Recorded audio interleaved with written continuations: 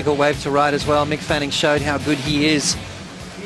So we get back to live action. Medina looking to ramp up. It's a full rotation punt. Looking to pick himself back up on the inside. One of the biggest airs ever completed in competition. As we hit the three-minute warning, Medina asking the panel. best waves coming in the final now. Here's a decision with 10 seconds on the clock. De Souza uses priority head back door. Medina takes the left and goes for a backflip and does not hang on. Meanwhile,